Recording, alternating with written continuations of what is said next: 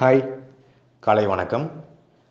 கடந்த ரீசெண்ட் டேஸில் வந்து அதிகமான பிரச்சனைகளையும் கான்ட்ரவர்சிகளையும் சந்தித்த ஒரு டேரக்டர் யாருன்னா நம்ம டேரக்டர் சங்கர் அவர்களை சொல்லலாம். குறிப்பாக அவர் வந்து ஒரு நார்மல் லாயர் கோர்ட்டுக்கு எத்தனை வாட்டி போவாரோ அதை விட அதிகமாகவே கோர்ட்டுக்கும் கவுன்சிலுக்கும் சுற்றினார் அட்டண்டன்ஸ் போட்டார்னே சொல்லலாம். ஏன்னா அந்த அளவுக்கு பிரச்சனைகள் வந்துச்சு. அவர் வந்து ஒரு அவர் அப்டேட் கொடுத்தாருன்னா இல்லை இது வந்து இப்போ என்னோட கதை அப்படின்னு சொல்லிட்டு பழைய விஷயங்களை கொண்டு வந்து இந்த அன்னியன் இஷ்யூவாக இருக்கலாம். சரி படம் போய் எடுப்போம் ஷூட்டிங்கில் போய் உட்காருவோம் அப்படின்னு சொல்லிட்டு ஷூட்டிங் போனாலும் அங்கே ஆக்சிடென்ட்ஸ்லாம் நடக்குது. நம்ம இந்தியன் டூ இஷ்யூவை சொல்லலாம். சரி அதை விடுங்க. வீட்டிலே உட்காருவோம் அப்படின்னு சொன்னால் கூட இவர் எனக்கு அது தரணும் இது தரணும்னு சொல்லி அவரை பிரச்சனை அவருக்கு அவருக்கு நிறையா பிரச்சனைகளும் இன்னர்களும் வந்துச்சு. இதெல்லாம் நம்ம பார்த்துட்டு இருந்தோம் சோஷியல் மீடியாவில் சரி இதுக்கெல்லாம் என்ன காரணம்? இதோட ஆரம்பம் என்ன? அப்படின்னு நம்ம பார்க்கும்போது எல்லா பிரச்சனைக்கும் ஆரம்ப புள்ளி முற்றுப்புள்ளின்னு ரெண்டு இருக்கும்ல. இதில் ஆரம்ப புள்ளி என்ன இருக்குன்னு நம்ம பார்க்கும்போது அந்த ஆரம்ப புள்ளி வச்சது யாருன்னா நம்ம வைகை புயல் வடிவேல் சார் அவர்களை சொல்லலாம். ஐயோ எல்லாத்துக்குமே அவர் போய் பிரச்சனை பண்ணார் நம்ம சொல்லக்கூடாதுங்க. ஆனால் முதல் பிரச்சனை அவர் பிரச்சனையாக தான் இருந்துச்சு.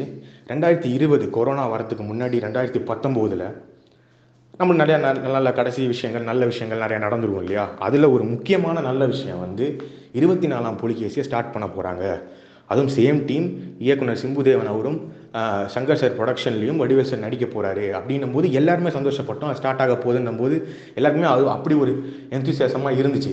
ஆனால் போக போக போக ப்ரொடியூசர் கவுன்சிலில் வந்து பிரச்சனை. அங்கே வந்து சங்கர் சார் வந்து அங்கே கம்ப்ளைண்ட் பண்ணிட்டாரு. அப்படின்னு அந்த பிரச்சனைகள் வர வர வர வர வர நமக்கே அந்த படம் பண்ண மாட்டாங்க போல அப்படின்னு ஒரு தாட் ப்ராசஸ் வந்துச்சு. குறிப்பாக நம்ம ஊரடங்கை பற்றி ரொம்ப ஃபீல் பண்ணி என்னால் வீட்டில் உட்கார முடியல. என்னடா இது? என்னடா வாழ்க்கை இது? நம்ம ட்வீட் போட்டிருக்கும் போது தம்பிங்களா நான் பல வருஷமாக ஊரடங்கில் தான் பாருக்கிறேன்.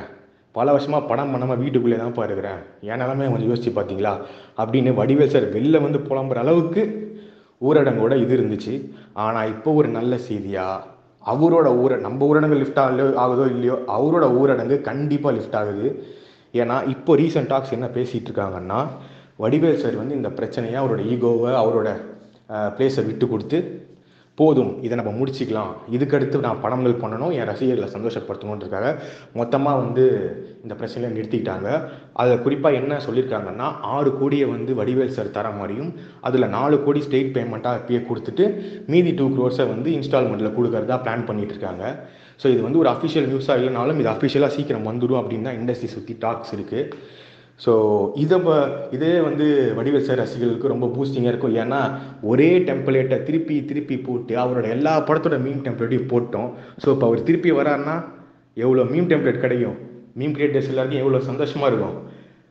ஸோ இருந்தாலும் தமிழக மக்களாக வடிவேல் சாருக்கு ஒரு இது வச்சுட்டோம் ஒரு அட்வைஸ் சொல்லணுன்னா எங்களுக்கு போன வாட்டி ஊரடங்கு முடிஞ்சு ரெண்டாவது அலன்னு ஒன்று கொண்டு வந்துட்டோம். நீங்களும் இந்த வாட்டி ஊரடங்கை முடிச்சுட்டு உங்களுக்கு ரெண்டாவது அலன் கொண்டு வந்துடாதீங்க. ஏன்னா நீங்கள் திருப்பி நிறையா படங்கள் நடிக்கணும்னு ரசிகர் சார்பாக நாங்கள் கேட்டுக்கிறோம்.